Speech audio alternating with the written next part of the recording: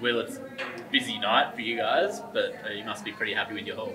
Yeah, no, we, we came in with some uh, objectives and we've achieved them all. So we clearly we had a great hand, but we were very very happy with what we've walked away with. Yeah. Uh, it was an interesting dynamic with GWS trading up, which meant they traded back to GWS's pick, and you got Taylor Goad there. Were you worried that Goad would go before that pick, or what was the Yeah, situation? oh, we, we were pretty keen on getting Taylor, so we were, we were nervous, but um, didn't know whether Adelaide were going to come in and get us there. But yeah, just to be able to get a, a ruckman of 206 and a half centimetres with his athletic profile um, for a developing list is, is seriously exciting. must be wrapped with a, a range of different guys. You got midfielders, you got ruck, you got forwards. Yeah. You must be wrapped with just the mix. That was the plan, just pick the talent at the top and um, then address some of those needs. So to get Big Dorse and, and go to, at those teams picks, um, yeah, re- really, really happy.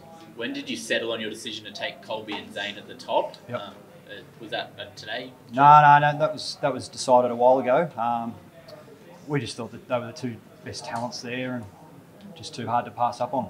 Can you explain what Clarko was doing over at Dan Curtin's place over in WA? Yeah, well, he, he was over there for a wedding, so it wasn't like he flew there specifically, but um, it'd been arranged a while ago.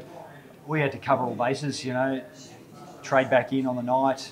That was an option, so yeah, it was um, was just ticking the boxes really. Did you inquire about moving up when Dan Curtin was sliding?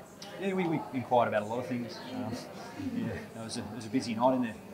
Sydney's uh, opening selection and I know that uh, Kian mentioned that you guys might have been in discussions Yeah. with Sydney Olympics. Was that something that Uh, that didn't that didn't happen tonight. Um, I, think we, s- I think we sort of both agreed that we're happy sitting where we were.